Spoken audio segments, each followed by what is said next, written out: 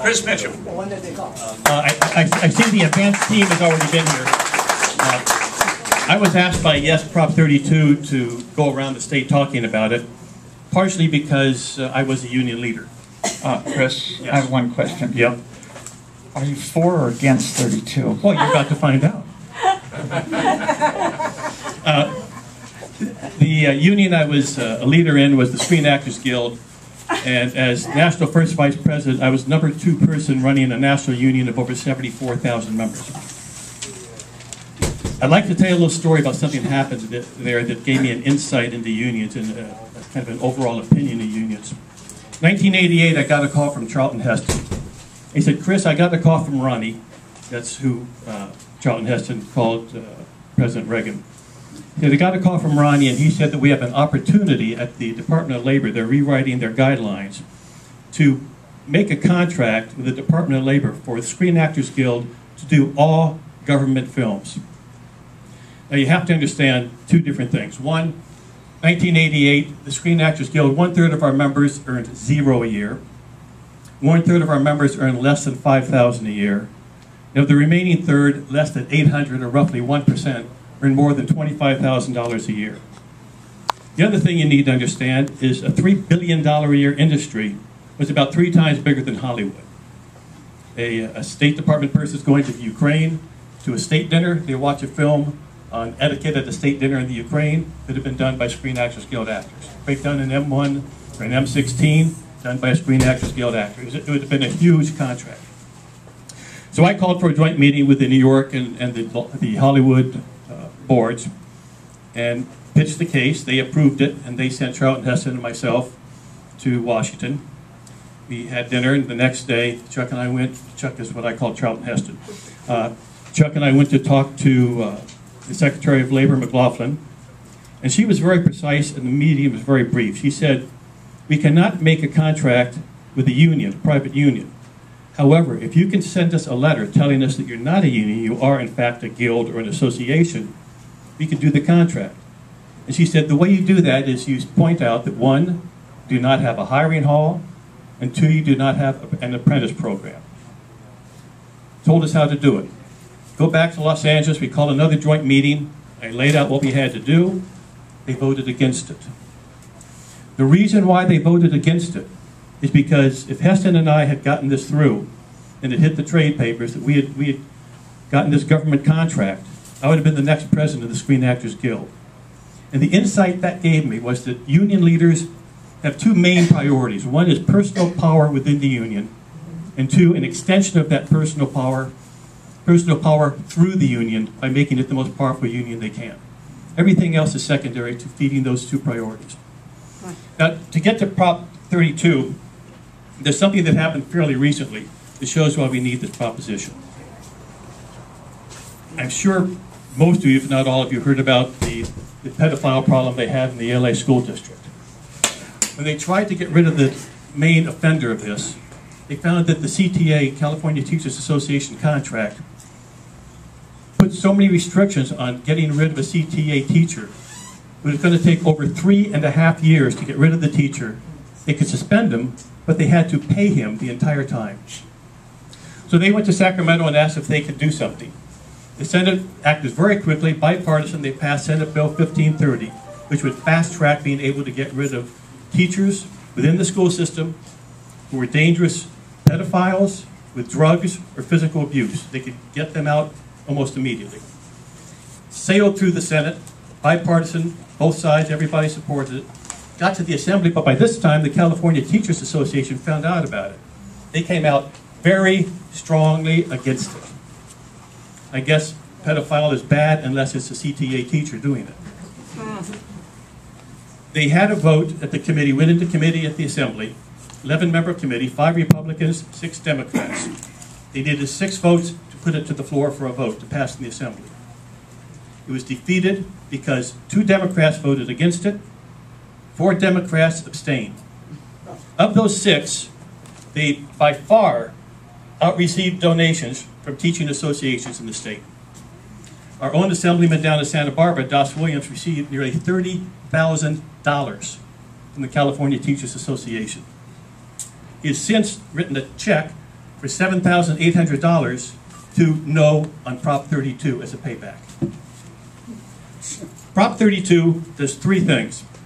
First thing it does is it puts a firewall between unions and corporations from doing direct donations to candidates, state and local. I say corporations, AT&T donates to every single member of the Assembly and Senate in Sacramento. Every single member gets a donation from AT&T. They got all bets covered. So donations are as bad as the unions. So it puts this firewall, they cannot make these direct donations. Second thing it does is a contractor cannot donate directly to a state or local official who has anything to do with their contract. And the third thing it does, it stops the automatic withdrawal from payroll donations to political purposes. Every single uh, union member and every single person working in a corporation must sign a yearly release telling that corporation or that union that they can, in fact, withdraw from their payroll these, these donations. The, one of the big the arguments against this is going to free up billionaires to have access to political power. Well, what they're talking about is independent expenditure, which is one, guaranteed by the First Amendment, and two, ratified by the U.S. Supreme Court. Second thing that you have to be aware of is that, yes, on Prop 32 has raised $3 million. So I don't know where all, the, where all these billionaires who are going to get politically powerful are, are hiding out. No on Prop 32 has raised over $35 million. Biggest single contributor? California Teachers Association of more than $16 million. That should pretty much tell you all about it. Any questions? Well, the fact that they can outspend us 11 to 1, we got to spread the word, use the internet, do everything we can. We do have some signs and door hangers and stuff coming up. Uh, Bryce told me that they should be here within the week, and I'll get them up here as soon as I can. But, uh, you know, we have our work cut out to, uh, to get this through. Thank you very much. Chris, Oh, question question, you. yes. Yeah, are you a write-in for the 24th congressional? Uh, no, because uh, of the way Abel did the, the uh, open primary, the first two elected uh, in the primary are the only two who are on the ballot, and it excludes, it excludes write-ins. Um, You spoil the ballot if you write in, don't you? Well, it, basically, a a write-in becomes a, a no vote. Right, but I think you can the actual ballot. if- That, that I don't know. I don't know if that's- Don't do, don't Yeah. write anything in. I, I, I heard, in fact, I, I just heard today that a, a phone poll was taken in Lompoc, of Republicans, and uh, three of every ten Republicans asked said they're not gonna vote for Abel.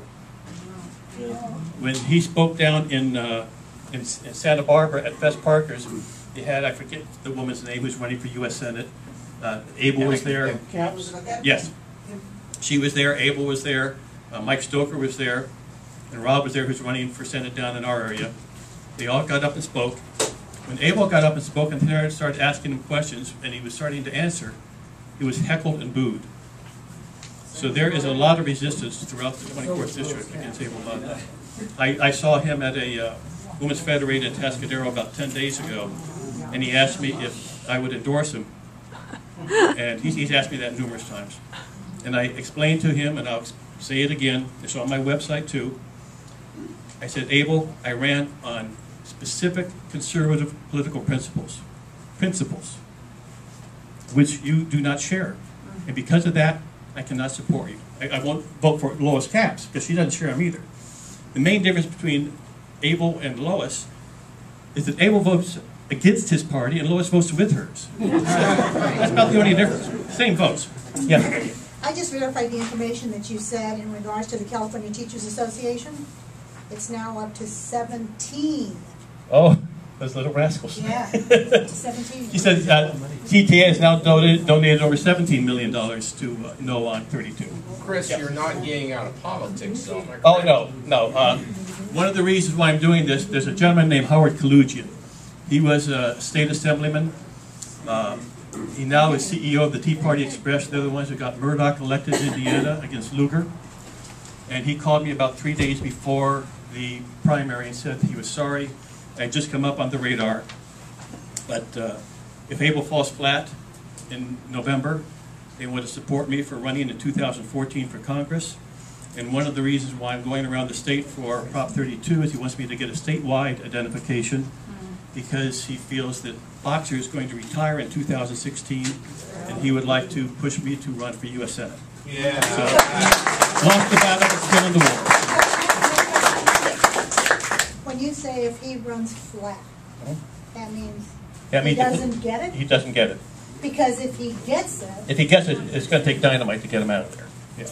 my, my understanding is, in order for, in order for a candidate to unseat an incumbent, especially if he's only been in there for one term, it's gonna be in excess of a million dollars in. Oh, absolutely, absolutely. In funding. Al- Also, I, I had heard before this, this cycle, that Lois didn't want to run this time.